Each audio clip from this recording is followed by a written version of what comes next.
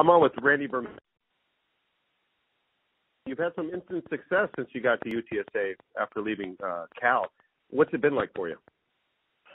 Um, the transition and uh, the way the program is set up is completely different.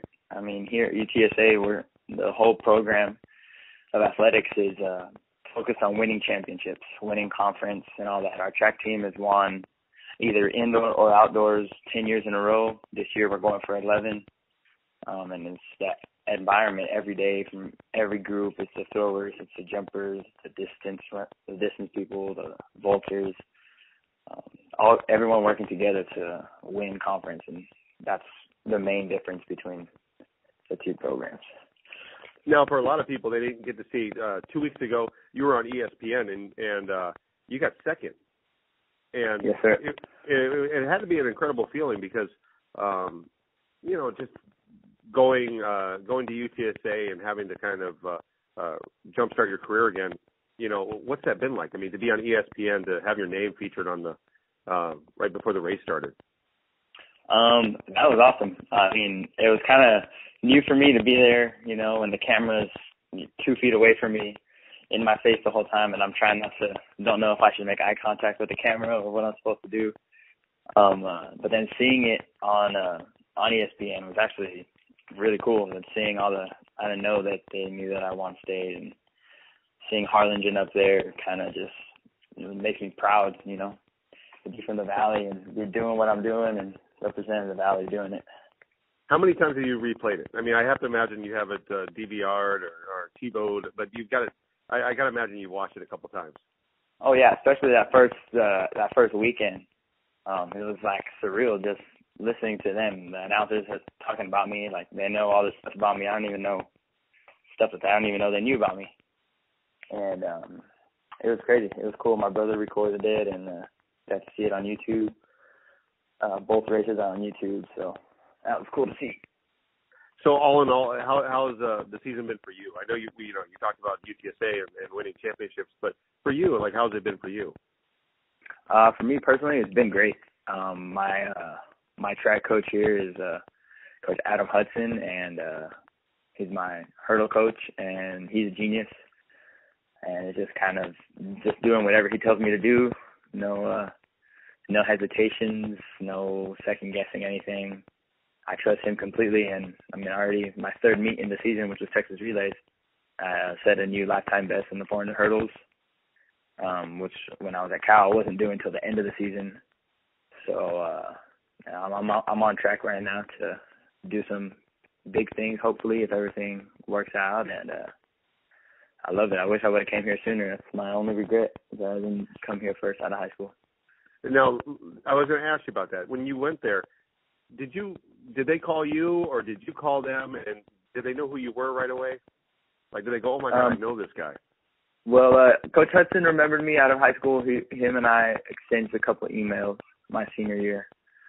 Um, so he remembered me, and then um, I have a couple buddies on the team, uh, Jamarcus Shelvin and Jonas Gutierrez, who's from Weslaco, and um, you know, kind of put it in their head that I was looking at them, and then uh, got my release from Cal. I was cleared to talk to the coach finally, and then I started talking to him and uh, asked me about my times and all that kind of stuff, and now I'm here. So do they do they have a parade for you and everything when you got there? you you know out of high school you were like a really big name. Yes, sir. Um, yeah, Coach Hudson always talks about that. Uh, I, I that I didn't even come on a visit to UTSA, and you know he teases me a little bit about that. But uh, no, it's good. It's it's fun. It's I mean I know Coach Hudson has coached hurdlers to nationals the past couple of years. My teammate Jamarcus went um, to nationals last year his junior season and this is his senior season and I'm just learning from him and from Coach Hudson, people that have been there and uh learning from them as much as I can to hopefully get to that point this year. So looking at the rest of the season, how good can mm-hmm. you get? I mean, because I, you know, I got to imagine, you know, you want to, you you probably have goals that you've already set for as far as your times and where you want to yeah. be. At the end of the season, where do you want to be? Um, end of the season, hopefully, is at the Olympic trials. I mean, um, the initial standard was 49.4 for the 400 hurdle. but what they do is they, they drop the times accordingly. You know, if there's not enough people that run that time, then they kind of make the time a little bit more lenient. So now it's 49.5, and um, so for right right now that's the goal 49.5, so I can go and compete at the Olympic trials and uh, run with the best that uh, the world and the country has to offer here in the U.S. So hypothetically, if you did really well at the trial, would you be in Rio this summer? Uh, hypothetically, there, if I make it to the trials, there's a chance. I mean, uh, hurdles is one of those events where the guy in first can fall, and then everything changes. And uh, the hurdles is probably the event with the most room for error. So anything can happen. I can have my best day. Other people can have their worst, and yeah, there you go. But um, that's incredible. It's just an opportunity just to be a compete at that stage with those kinds of athletes, and you know see what it takes. Because there's guys that are running 47s and 48s in the 400 hurdles, um, and then being in that being in the presence of that, you know, hopefully I can rise up a little bit and do something great. But I gotta get I gotta get there first. So. How does conference track look right now? I mean, uh, you know, it's kind of like what's right in front of you. How good is the team doing right now? Um, right now we're doing pretty, we're doing well. I mean, we have uh, my teammate Jamarcus is leading the conference, and I'm right behind him in the 400 hurdles. Um, we have numerous leaders in the conference. One of our throwers had a conference leading mark this week. Um, we have a bunch of people fighting for spots uh, in the top three right now, and it's just kind of changing back and forth. And uh, our hurdle group right now, our throwers always do really well. Um, our distance runners do really well, and uh, we're aiming to peak at conference. So conference, we have hopefully some some big jumps, some surprises, and everyone rises to the occasion. I'm actually starting to long jump again to see if I can score in conference in that. Long jump this past weekend for the first time since high school. So how'd you do? Uh, I did okay. I think I got sixth overall here at the meet. I jumped like I don't know, it was something in meters, like six seventy eight meters. It's like twenty two three or something like that. Oh wow. So uh, it was fun. I mean, it was my first time, like I said, doing it since high school. So coaches coaches just kind of want to throw me in there and see what I can do, and hopefully grab a couple extra points at conference just in case we need them. Okay, I'd be remiss if I didn't say this because a lot of people are going to ask. Did they ask? Did anybody from the football program ask you to come out? Did they see your tape from high school? um, I'm not too sure. Um, I have not that I that I know of. No.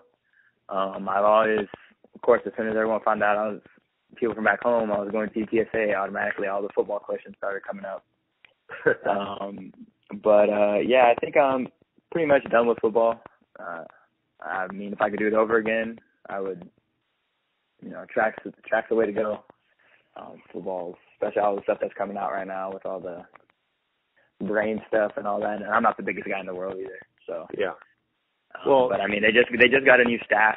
The whole football program is uh redone from top to bottom, so they just got a whole new staff. I know uh, one of my old teammates actually, Brandon Garza, um, looking at UTSA. Oh, yeah. He's at University of Houston right now, and he's a um, trying to be a walk on. Uh, he's waiting for the spring evaluation to come through, and he's trying to be a part of the team uh, there. So I know they're looking at him, and hopefully he gets a chance. That's all it takes.